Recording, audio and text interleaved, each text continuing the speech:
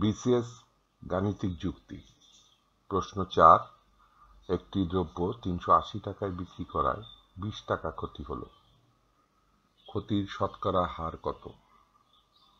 ক, চার শতাংশ, খ, ছয় শতাংশ, গ, পাঁচ শতাংশ, ঘ, সাত শতাংশ।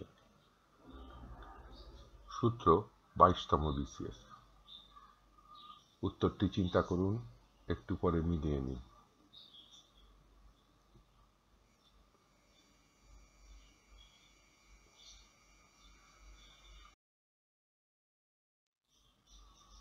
সঠিক উত্তর, গ, পাঁচ শতাংশ। ব্যাখ্যা, প্রশ্নানুসারে ক্ষতির পরিমাণ বিশ টাকা, বিক্রয় মূল্য তিনশো আশি টাকা।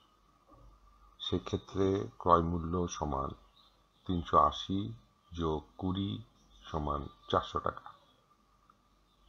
ক্রয় মূল্য যখন চারশো টাকা, ক্ষতির পরিমাণ সমান বিশ টাকা। ক্রয় মূল্য যখন এক টাকা, ক্ষতির পরিমাণ সমান চারশো ভাগের বিশ টাকা। ক্রয় মূল্য যখন একশো টাকা, ক্ষতির পরিমাণ সমান বিশ গণিতক একশো ভাগ চারশো টাকা। সমান পাঁচ শতাংশ।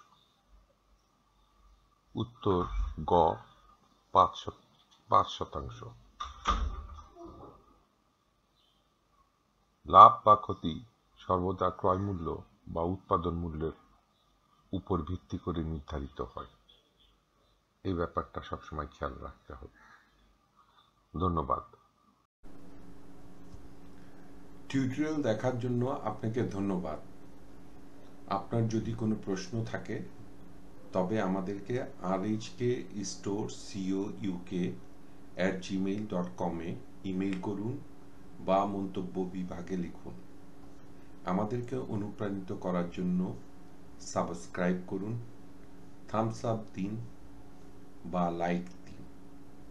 আপনার বন্ধুদের সাথে শেয়ার করুন এবং নতুন টিউটোরিয়াল পেতে বেল আইকন টিপতে ভুলবেন না।